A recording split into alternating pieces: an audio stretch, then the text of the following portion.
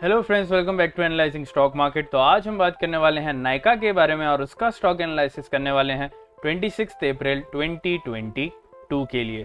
तो चलिए अब हम जाते हैं सीधा हमारे चार्ट पे।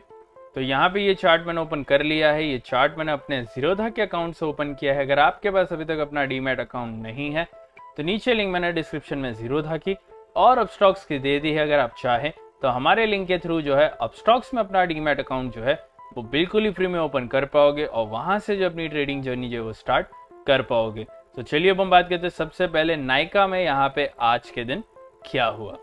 तो यहाँ पे जैसे कि आप देख सकते हैं, आज के दिन नायका में हमें जो है देखने मिल रहा है seven dot forty seven percent का यहाँ पे एक नेगेटिव मोमेंट और यहाँ पे क्लोजिंग जो हुई है, वो हुई है सिक्सटीन एटी सेवन पे।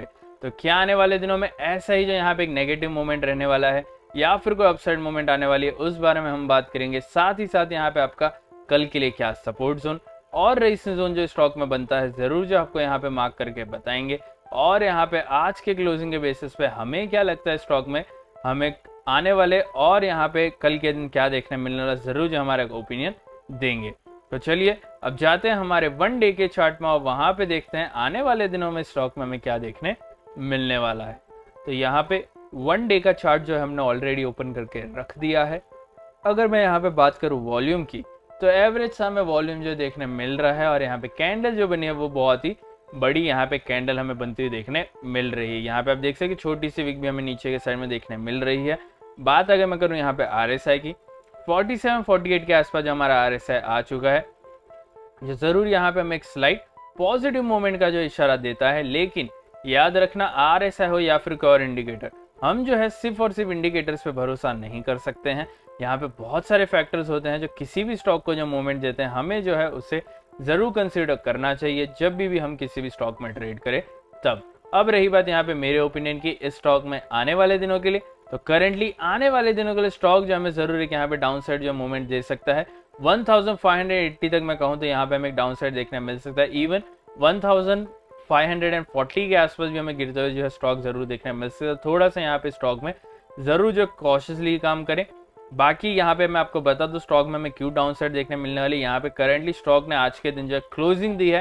ट्वेंटी और में फिफ्टी एम के नीचे जो यहाँ पे स्टॉक के ट्रेंड को यहाँ पे जो है थोड़ा सा एक नेगेटिव साइड में जो कर देती है। ज़रूर ट्वेंटी एम जो है, फिफ्टी एम के ऊपर है। लेकिन जब तक यहाँ पे हमारा जो है क्लोजिंग हमें जो है ट्वेंटी एम फिफ्टी एम के नीचे जो मिल रहा है प्राइस उसके नीचे चल रहा है, तब तक यहाँ पे हमें थोड़ा सा जो स्टॉक में कौशली काम करना चाहिए। बाकी आपको यहाँ पे क्या लगता है, स्टॉक में आने वाले दिनों में क्या हो सकता है, हमें ज़रूर कमेंट करके बताना। लेकिन अगर आपने हमारे चैनल को अभी तक सब्सक्राइब करके नहीं रखा है तो अभी के अभी जो हमारे चैनल को सब्सक्राइब कर ले, साथ ही साथ जो है बेल आइकन को भी दबा दे और यहाँ पे बेल आइकन को दबा के ऑल नोटिफिकेशन जो ऑन करना है ना भूल ले, क्योंकि हम जो है आप सभी के लिए every day four videos four videos मतलब फोर स्टॉक्स जो है एनालाइज करके लाते हैं।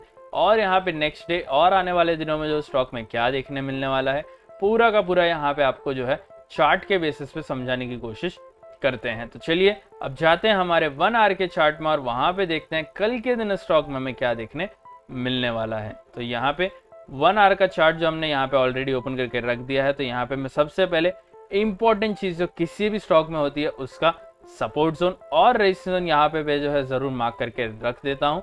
तो जिस तरह से मैं यहाँ पे मार्किंग जो कर रहा हूँ, आप जो सेम टू सेम अपने चार्ट पे जो मार्किंग्स करना ना भूले, क्योंकि ये सारी की सारी मार्किंग्स जो है वो आपको हेल्प करेगी अपना टारगेट और स्टॉप लॉस को जो है मेंटेन करने में। तो यहाँ पे जिस तरह से मैं मार्किंग कर रहा हूँ, आप जो है ज़रूर अपने चार्ट पे जो है वो कर ले।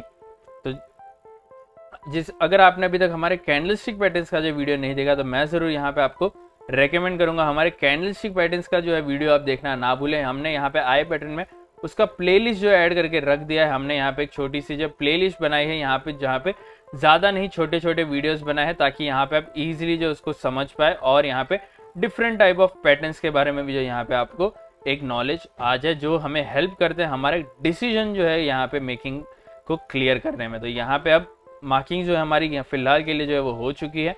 बात यहाँ पे करते हैं इसके क्लोजिंग की। 1687 के आसपास जो यहाँ पे क्लोजिंग हुई है। डायरेक्ट सपोर्ट यहाँ पे आता है सिक्सटीन सेवेंटी का। डायरेक्ट रेजिस्टेंस यहाँ पे जो है बनता है सिक्सटीन नाइनटी एट का। तो याद रखना डायरेक्ट सपोर्ट से डायरेक्ट रेजिस्टेंस का जो एरिया होता है, वो होता है नो ट्रेडिंग एरिया इसका मतलब है, इस बीच में अगर आपको स्टॉक जो घूमते हुए देखने मिले तो यहाँ पे आपको बिल्कुल भी ट्रेड नहीं करना है। आपको जो है वेट करना है, दोनों में से किसी भी एक साइड में।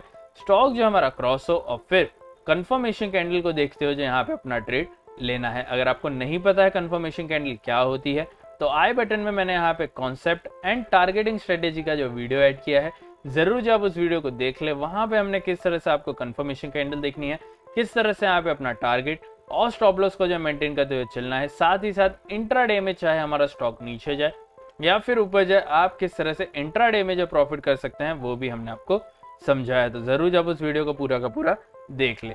अब रही बात यहाँ पे मेरे ओपिनियन की इस स्टॉक में कल के लिए तो कल के लिए यहाँ पे मेरा ओपिनियन करने से पहले मैं आपको इंपॉर्टेंट दो सपोर्ट और दो रेसन यहाँ पे क्या बनते हैं after direct support and direct resistance वो यहाँ पे मैं आपको बता देता हूँ। तो यहाँ पे डायरेक्ट सपोर्ट के बाद अगला सपोर्ट आता है 1649 का, उसके बाद क्या आता है 1615 का। यहाँ पे डायरेक्ट रेसन के बाद का अगला रेसन आता है 1720 का, उसके बाद क्या आता है 1737 का।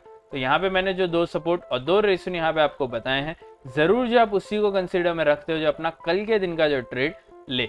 अब रही बात यहाँ पे मेरे ओपिनियन की। इस स्टॉक में आज के क्लोजिंग के बेसिस पे कल के लिए यहाँ पे मैं कहूँ तो ज़रूर यहाँ पे मेरा ओपिनियन एक स्टॉक में जो है यहाँ पे ज़रूर पॉजिटिव साइड का जो बन रहा है, मुझे लगता है यहाँ पे 1698 से लेकर 1720 के बीच में हमें क्लोजिंग जो देखने मिल सकती है। मतलब मेरा ओपिनियन स्टॉक में कल के लिए जो है ज़रूर एक पॉजिटिव साइड का जो बन रहा है। लेकिन यहाँ पे किस तरह से स्टॉक में ओपनिंग होती है वो आप ज़रूर देखें। बाकी मार्केट भी किस तरह से चल रहा है वो भी आपको ज़रूर देखना है। क्योंकि यहाँ पे आप देख सकते लास्ट के यहाँ पे जो है टू आवर्स में मैं कहूँ तो वॉल्यूम अच्छा खासा यहाँ पे बढ़ते हुए हमें देखने मिला है तो उसको हमें ज़रूर जो ध्यान में रखना है।